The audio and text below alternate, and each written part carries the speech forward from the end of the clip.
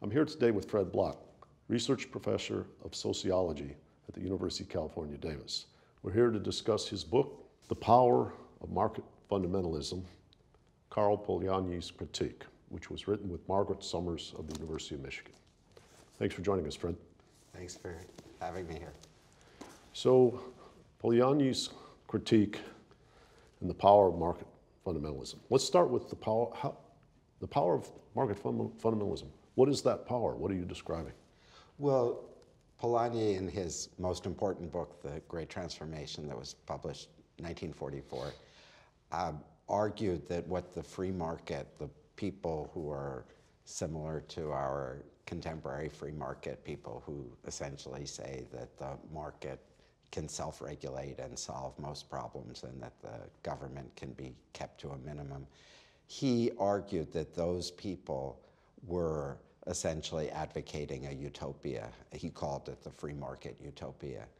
And this was a kind of very significant move because up until 1944, that denouncing something as a utopia was basically the move that the right used against the left, against socialists, communists, social democrats. They would say, you have this vision of a better world in which people will be more equal and there'll be full democracy and so forth. That's all well and good, but it goes against human nature and it's impossible.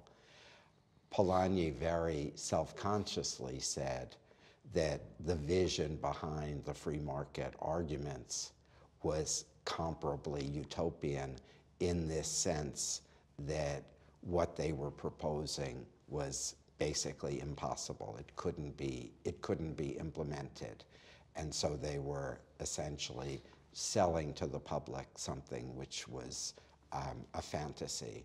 And that what's powerful about his argument is the way he systematically makes that argument um, that their vision of a self-regulating market system with a minimum of government is in fact impossible.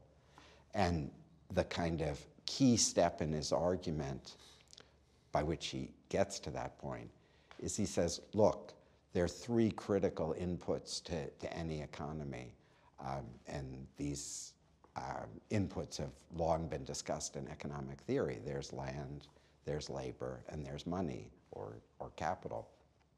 And he said that the vision of a self-regulating market requires the assumption that these three inputs, land, labor, and money, uh, would be self-regulating, that they could be organized entirely by the market. And he said that would be fine if they were commodities, by which he means things which were produced to be sold on the market, like widgets or iPhones or whatever. Those kinds of things you can regulate supply and demand through the price mechanism. But land, labor, and money are not produced for sale on the market. Land was um, given to us by the creator or happened to be here. It's nature. Um, labor is the activity of human beings and the supply of money and credit is something which isn't produced spontaneously by, by markets. It's in our current system regulated and controlled by, by central banks. So what Polanyi was saying is that the neoclassical economists, all of those who make the argument about a self-regulating market system, have to pretend that these fictitious commodities behave like real commodities. But they can't because they weren't produced for sale on the market. And the reality, the historical reality, is that throughout the history of the market economy, the government has played a critical role in shaping both the supply and demand of these fictitious commodities.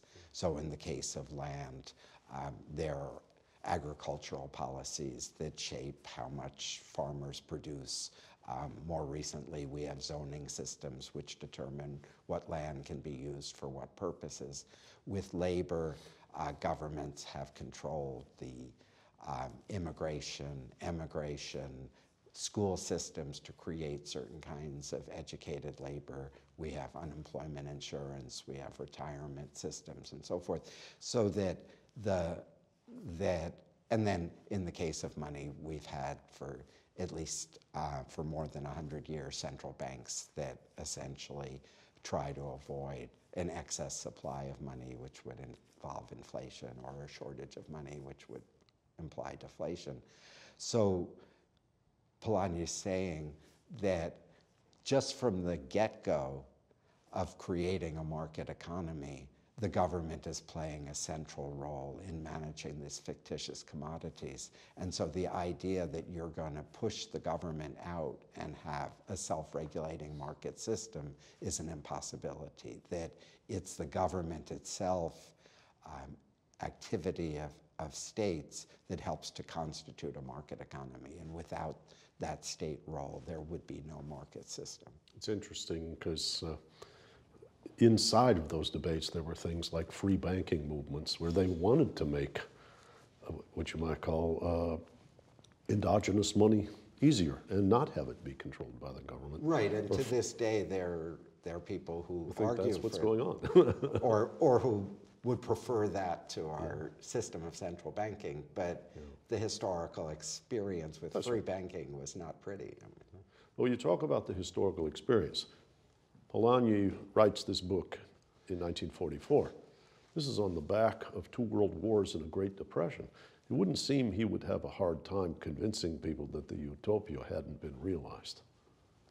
That's right. That he, um, he had come to the same conclusion as uh, John Maynard Keynes, um, the, the people who helped to design the post-war monetary system at Bretton Woods. They all had the same understanding that uh, the free market system, and particularly the institution of the international gold standard, which was kind of the, the centerpiece of a self-regulating market system, um, that those institutions had played a critical role in the crisis of the 1930s, had, had led to the collapse of the global economy. So when Polanyi was making this argument, um, he was um, kind of in accord with the general um, direction that, um, and we know that in the post-World War II period, um, that there was a kind of, uh, there was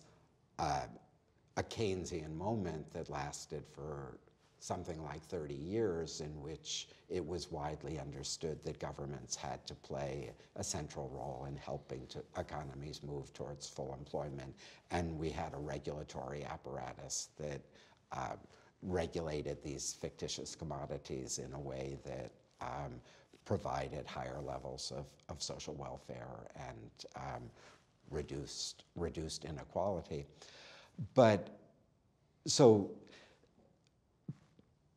so there's um, the kind of ambiguity is that um, Polanyi was kind of both right and, and wrong because he thought that he had seen the end of the free market system. He thought that the ideas had been abandoned for good, although he also in the final chapter of his, of his book essentially made an argument that what was needed to get beyond the free market vision completely was a paradigm shift um, in which people redefined what freedom is. And essentially, he argued that, um, particularly in, in Anglo American culture, um, there remained this idea of freedom which was highly individualistic, which was basically uh, parallel to freedom of conscience. Just leave me alone and let me do my thing. And he argued that in a complex society, we're interdependent with other people, and that particular concept of freedom is archaic. I mean, that it's the Robinson Crusoe freedom doesn't make sense when we're in a complicated division of labor. The, the freedom to do what you want is in conflict with the freedom from intrusion by others. Right, and that the freedom of some people to make a lot of money has a lot of consequences for the lack of freedom for other people who then have to work in Walmart at low wages or, or whatever. So he argued that uh, there was a need for this paradigm change in which we understood that living in a complex society, we had to elaborate a new conception of freedom, um, which was um, essentially the full development of the individual, that it's not a question of being left alone, it's a question of, of having the space to develop one's, one's capacities in connection with, with other people. And he believed that the way to achieve that freedom was through strengthening democracy and ultimately uh, subordinating the economy to, to democratic politics. Um, so, in some sense, while he was while he was too optimistic that the free market idea had been killed off, his suggestion about this paradigm change um, gave him um, a claim to having been right because that paradigm change didn't happen um, there wasn't a new conception of freedom. There wasn't an understanding that in a complex society you had to have government. And the question was not minimizing government, but bringing government under the control of a democratic citizenry. And so um, the, here's someone like George Stigler with his theories of economic regulation would have said that the cure was worse than the disease unless you got uh, in other words, you forfeited the kind of individual freedom by putting government in control. But if that control didn't work in the idealized romantic form of democracy, the cure could be worse than the, than the disease itself. Right, and so, I mean, that um, Polanyi's book appeared the same year as, as Hayek's Road to Serfdom, oh. and in, in some sense, they were debating Sparring with partners, yeah. And yeah. and Polanyi had known Hayek from from Vienna, had um, had known Hayek's teacher von Mises and had been engaged in debates with von Mises back in the early 1920s. Um, so, but he but Polanyi is very explicit that this fear of government and planning that it will go terribly awry, that it will um, take us down the slippery slope to, to serfdom. Um, he argued that that fear was, was misguided, that if we understood um, the uh, potential of democratic politics, um, we could, in fact, um, create a deeper kind of freedom, a, a, freedom in a complex society in which uh, people would be able to achieve their life plans. And um, he argued essentially for more abundant freedom. And again, he was. Abundant freedom. I mean that these constituents like health care, uh, education for you and your children, a secure retirement, uh, food. Exactly. Are the so, big building blocks to allow one the freedom to develop themselves, and it's not merely a freedom of action vis-a-vis an adversary called government. Exactly, and so Roosevelt's Four Freedom speech is the same year, and so mm-hmm. the same spirit that the freedom from hunger, the freedom from um, economic insecurity, this was part of what the meaning of freedom in a, in a complex society. So that, that's exactly part of where Polanyi was going.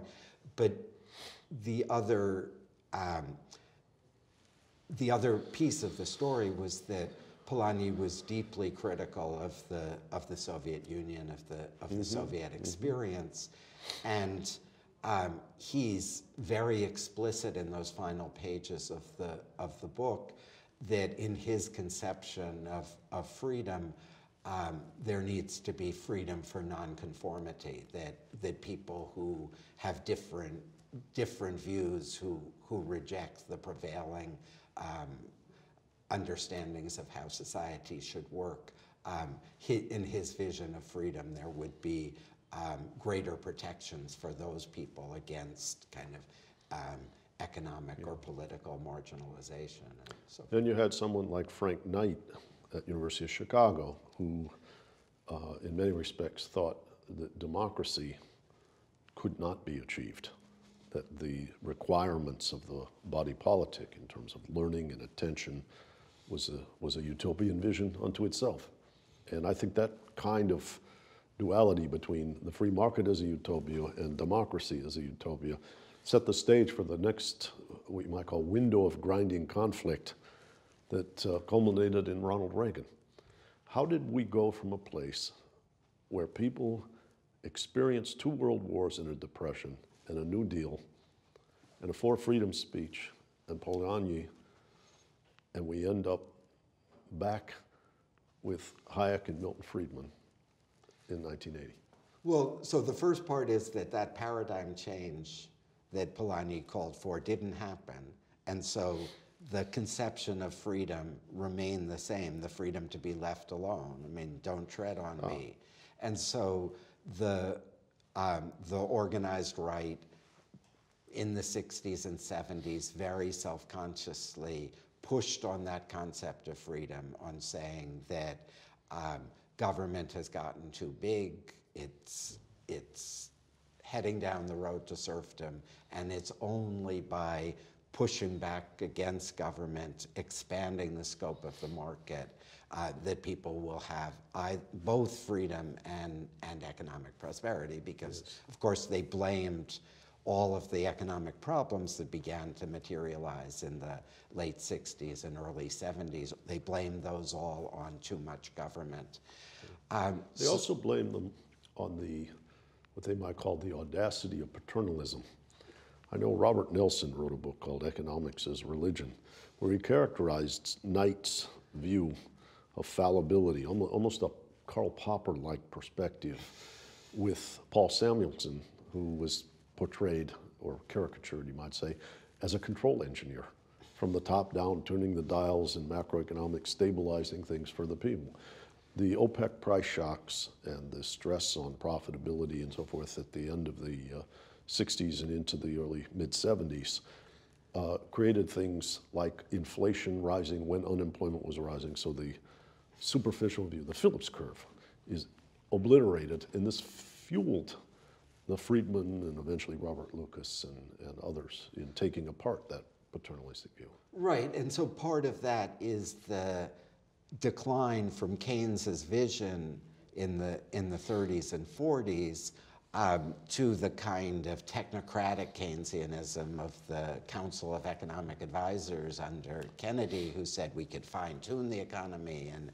uh, economics is a highly developed science and we have all of the, these levers and we can fly the economy like a 777.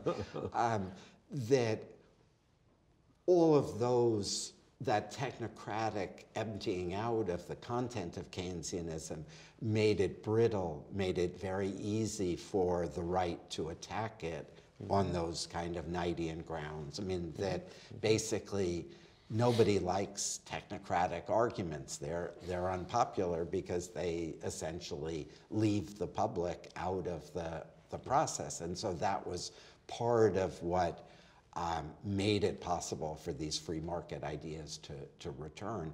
So in that sense, um, in the book, we contrast Polanyi with, with Keynes. I mean, that on some points they, they clearly converged, but um, Keynes, um, Keynes, at the end of the day, was an elitist, and he wanted economic policy in the hands of, of experts.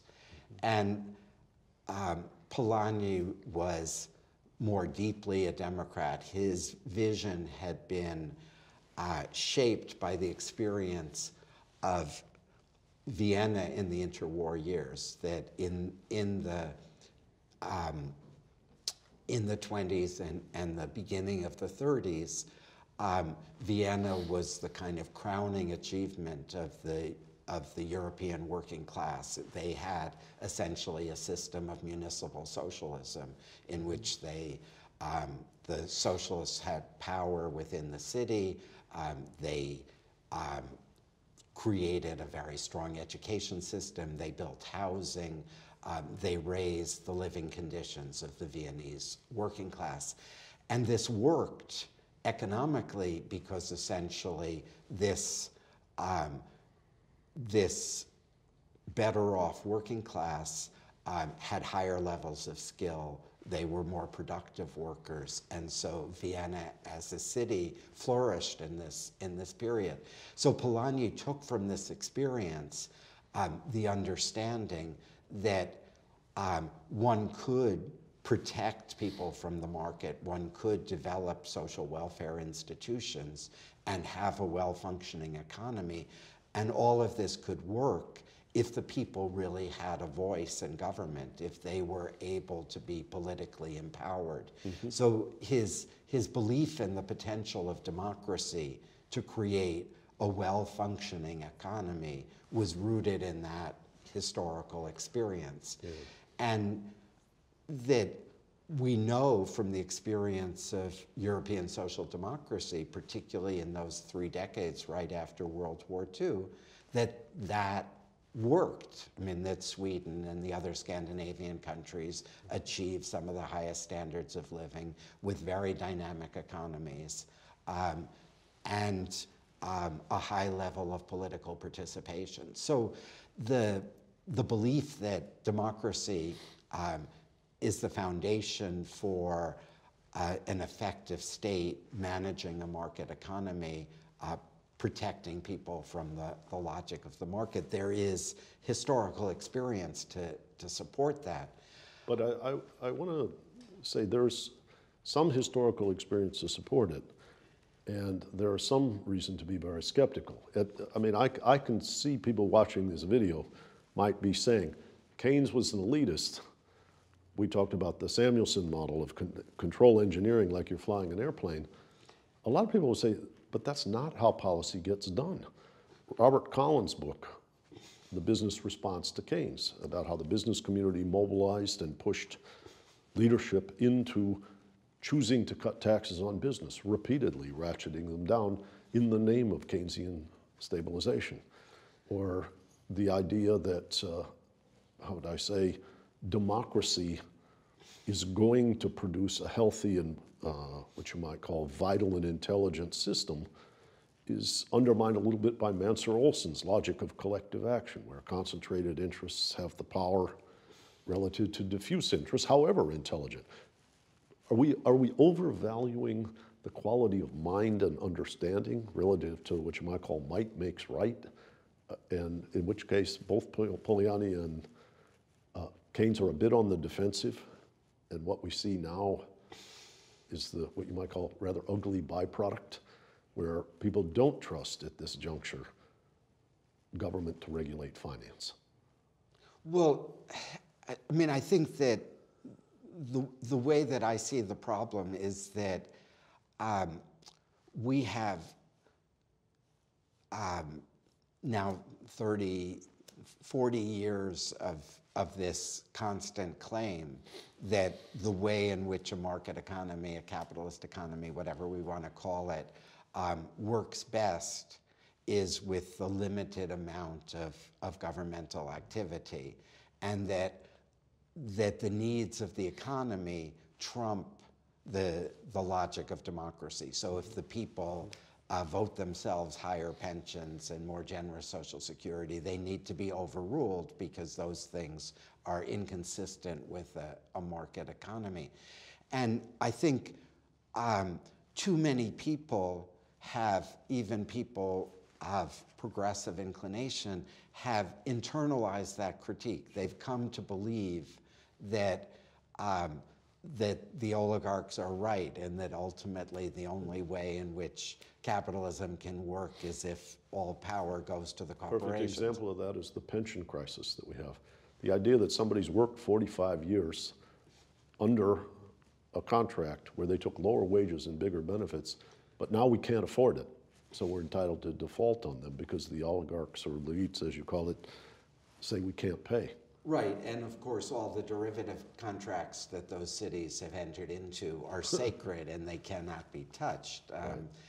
But so, um, So I, I think that um, that I, I want to emphasize a kind of um, distinction that I don't think is sufficiently made in our kind of political economic analysis, which is that um, there are two ideal type ways of, of making profit.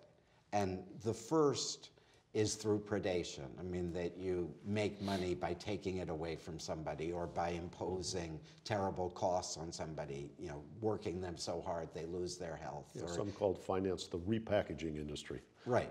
Or, right, through high frequency trading, you make your money by getting in three seconds before other people, and as Michael Lewis has told us.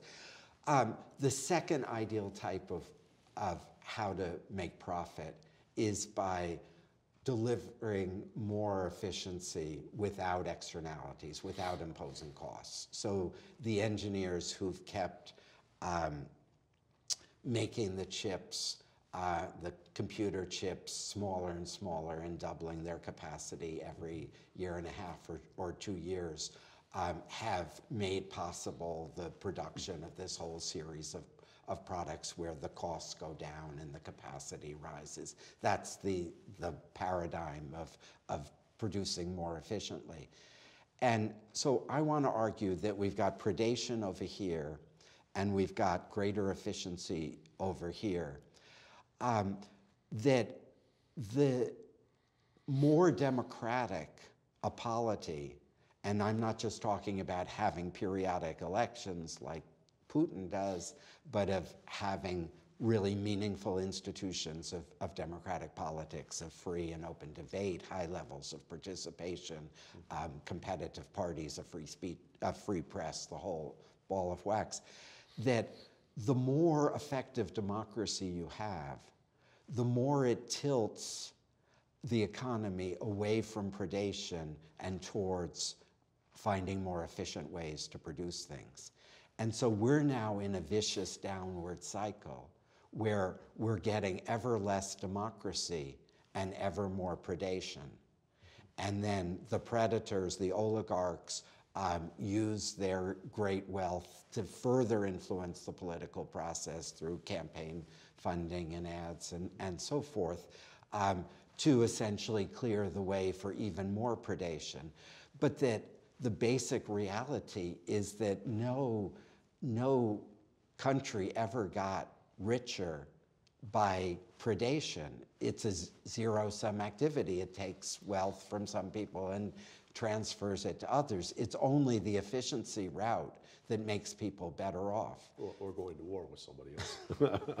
so that, um, and so why is democracy so important to tilting the balance away from predation towards efficiency? Well, first of all, um, when people have a voice, um, they're able to say, no, you know, this activity that you're doing, this high frequency trading, um, this isn't creating any value. This is just taking money away from us, you know, meaning that when we trade through our mutual funds or our pension funds, we're giving you a few dollars on every transaction. That doesn't make, make any sense. So democratic politics gives you the regulatory, or can give you, and obviously it requires contestation and it doesn't happen automatically, but it creates the potential for the regulation that can bring um, the predation un under control.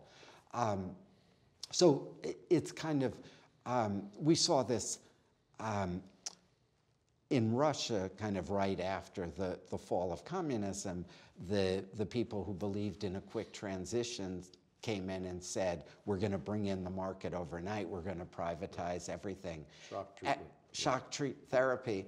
And what happened?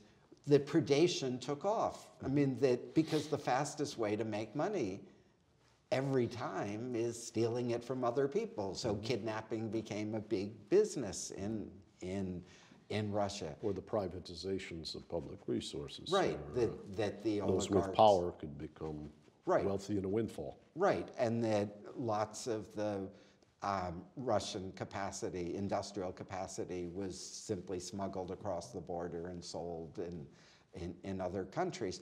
Um, so that that that's the point that it's always easier to make money through predation.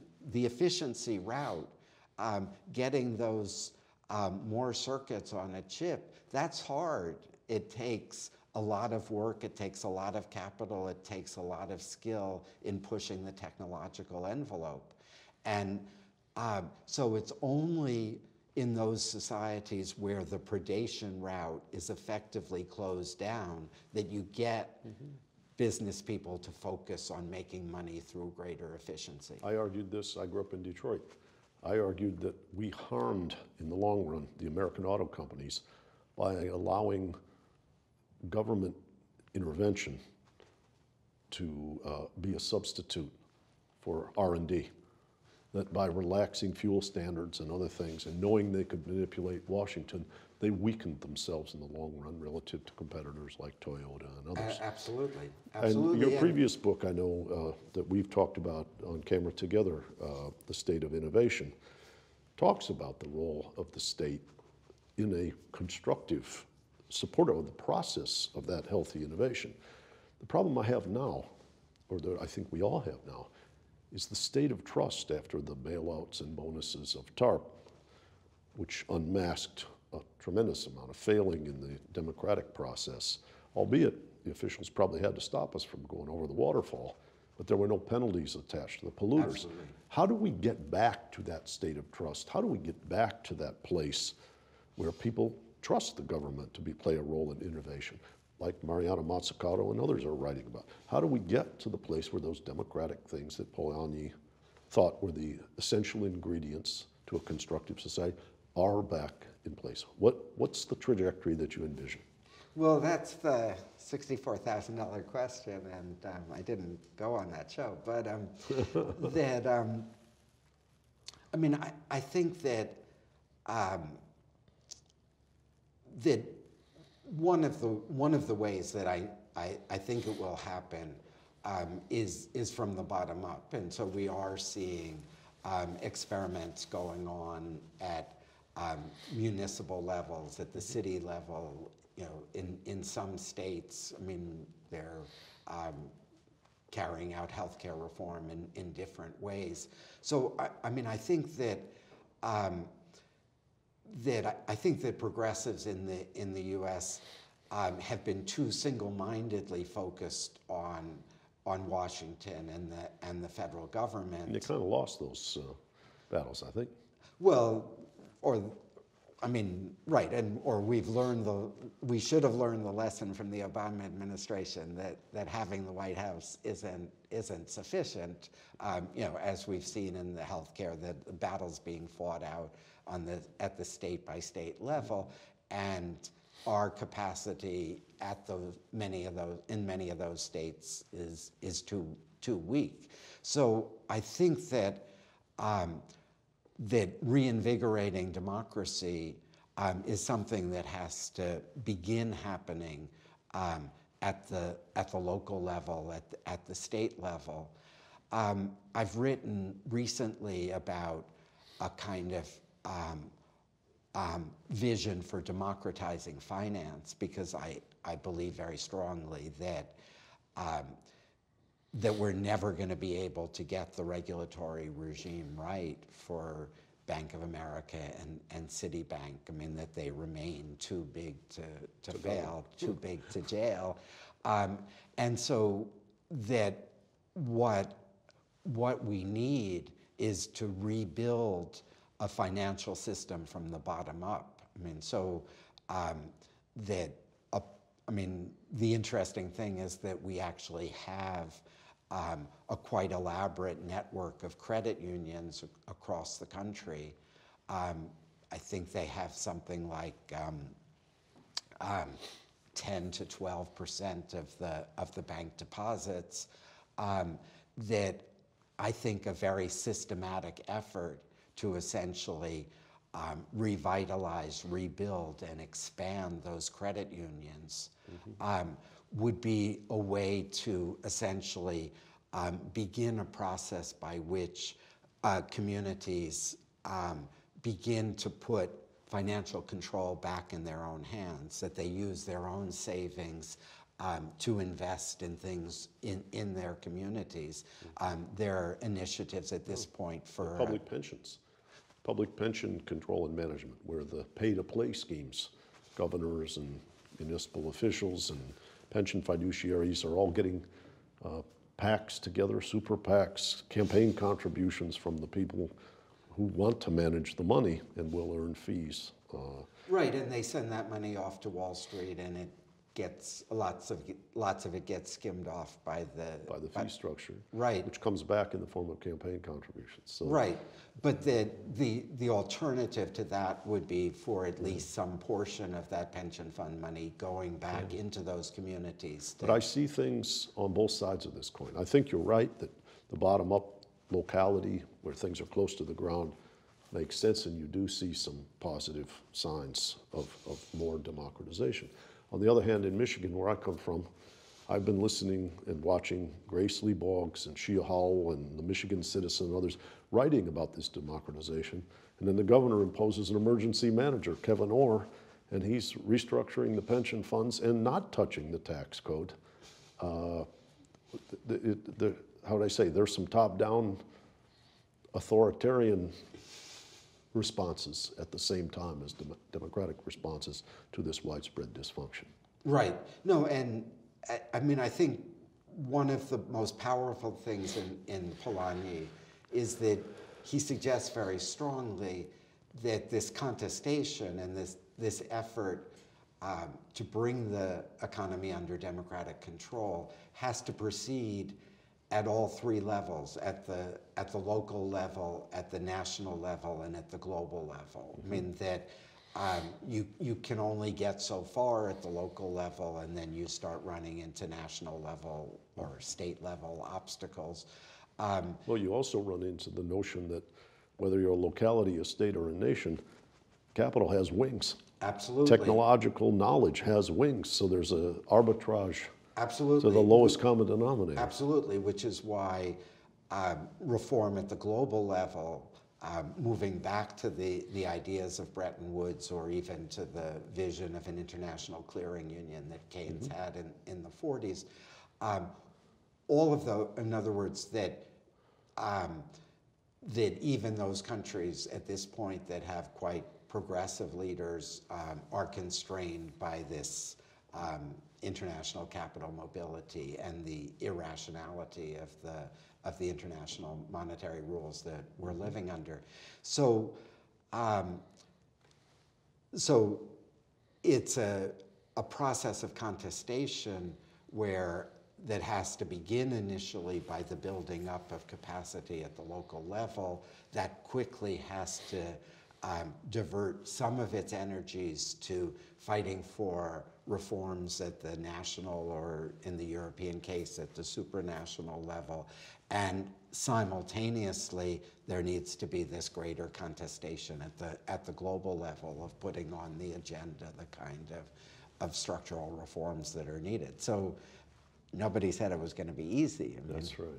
But I will say, when you write a book like this, which, which you might call elevates Polanyi's critique and vision, casts it in relation to market fundamentalism, it does make it easier for all of us. And in that respect, I thank you for, uh, how do I say, fomenting the critical discourse and, uh, and bringing uh, Polanyi back into focus for the challenges that we face now. thank you very much Thanks for being with us.